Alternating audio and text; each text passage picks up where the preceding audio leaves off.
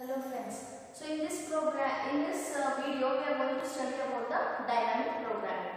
So what is dynamic programming? Dynamic programming is also one of the technique for problem solving, which we have seen different types before this one. We have seen divide and conquer, brute force technique, greedy method we have seen. So this is also another kind of problem solving technique that is the dynamic programming. So what is this dynamic programming? So as the name itself will indicate dynamic means don't think that something which happens uh, at the moment. So dynamic means it is planning. Okay, we are planning how to solve the problems and then we are making a series of decisions. So we are planning how to solve the problem and then making the decisions while solving the problem. This is same as that of the divide and conquer method. So we have already seen divide and conquer method. What happens in that? A big problem is given and that is divided into small sub problems and each sub problem is solved individually and then the result is combined. Is it not? Same method is also followed here but only one difference here is in divide and conquer the sub problems are independent of each other. Means whatever uh, solution you have got for one sub problem that is nowhere concerned or nowhere related with the another sub problem. But here it is not like that. The sub problems are not independent. Means once we are calculating the solution of one sub problem, then what we are going to do? Are going to store it in the form of a table.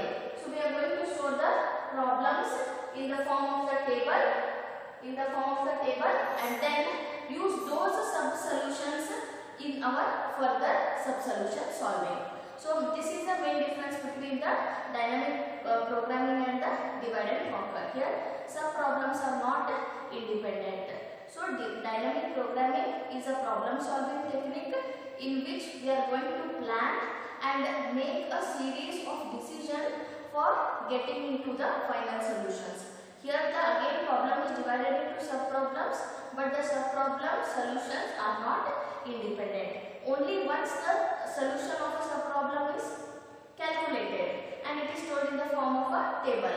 So next time it is not recalculated. When that particular solution is required from the table the solution is taken and the procedure is again continued. So like this we are going to solve using the dynamic problem. So which are the different types of problem statements we can solve using this dynamic programming? We are having the Warshall's, Floyd's, knapsack, multi-stage probe, then multi-stage graphs, then we are having optimal binary search trees. So like this there are different problems which we can solve using this dynamic programming. So we will see them one by one in our video.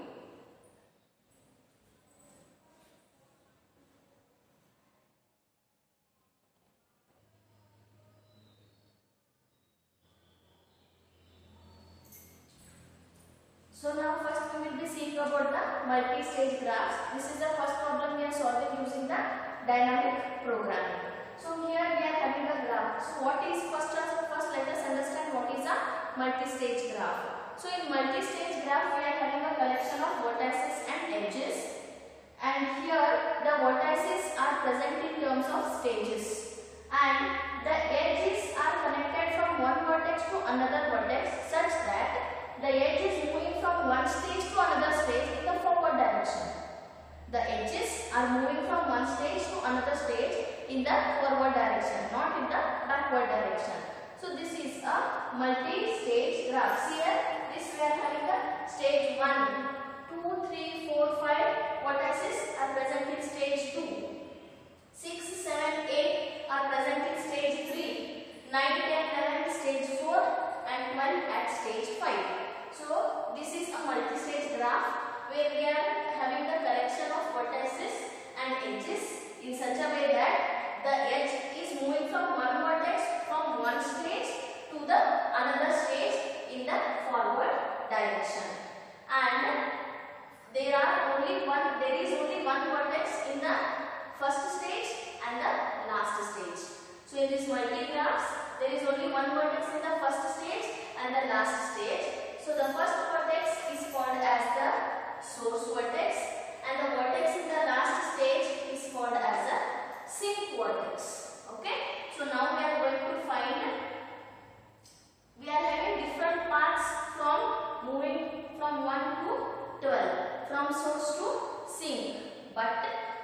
to find that path which is having the minimum cost of its travel. This is an optimization problem again. Optimization dynamic problem programming solves the optimization problems. What do you mean by optimization is finding the minimum cost for doing any work. That is optimization problem. So we are going to find a path from source to sink in such a way that its cost is minimum. So this is the problem statement. Having understood the problem statement, next let us go to this how to solve the problem.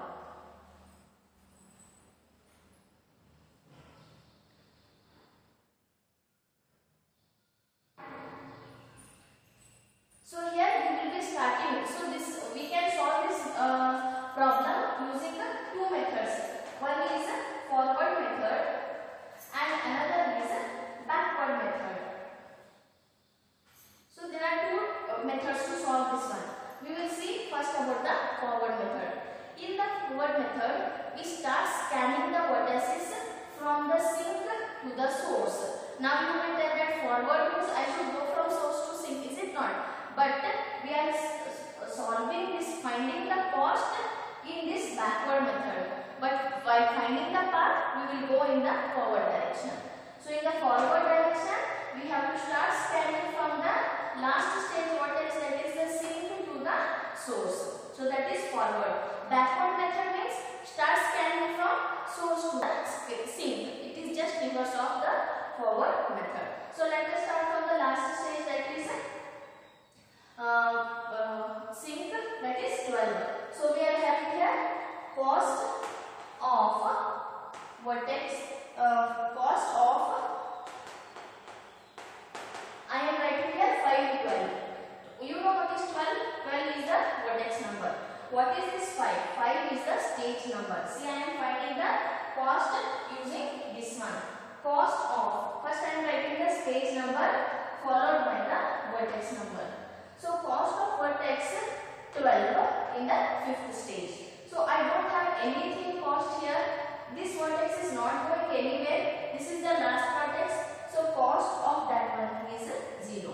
That vertex is not taking you to another stage. So its cost is 0. Okay. So I will update here. Cost of 12 vertex C. Cost of 12 vertex is 0. And I am not going anywhere. 12 itself is the last one. Okay. Next now this finishes the there is only one vertex. So fifth stage is over. Next we are going for stage number 4 here. So in stage number 4 we are having three vert three vertices there. So we are finding cost of fourth stage vertex number 9.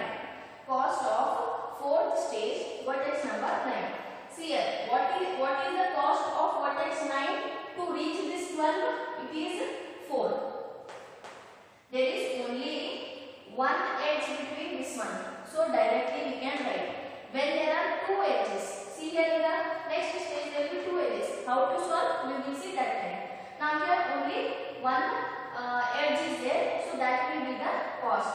Then next cost of fourth stage what is number 10. What is its cost? 2 is its cost. Next cost of fourth stage vertex number 11. What is its cost? 5 is its cost. Let us update here. What is cost of 11? It is 5. Cost of 10? 2 and this is 4. Then what about this D? From this vertex 9, 10, 11,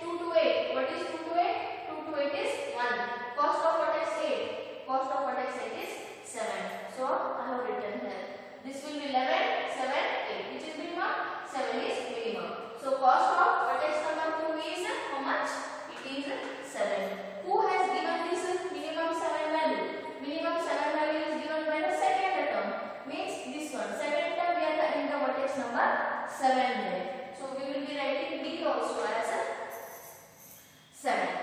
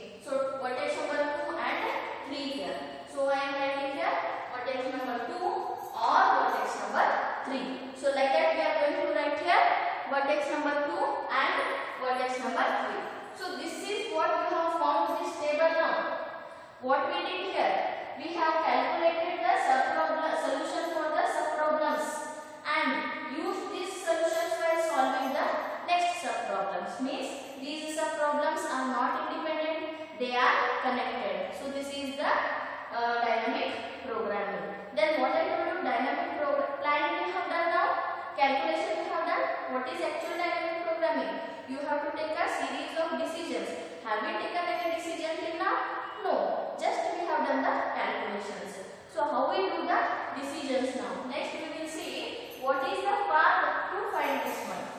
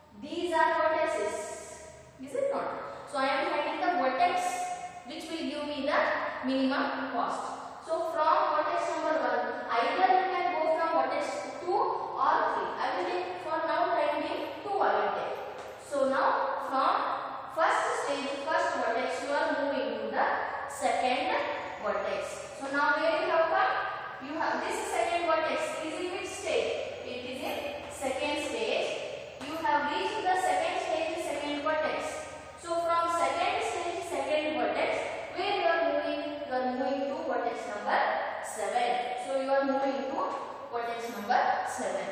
So now, now you have reached the third stage and vertex number 7. From vertex number 7 where you are moving?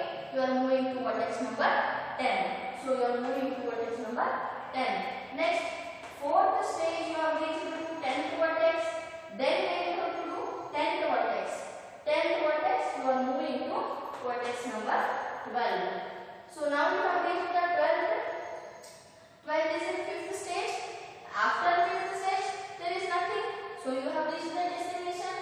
So from 1 to 2, so you have reached from, you are moving from 1 to 2, next 2 to 7, next you are moving from 2 to 7, then 7 to 10, then you are moving from 7 to 10, then 10 to 12. This is one path. What is the cost of this path?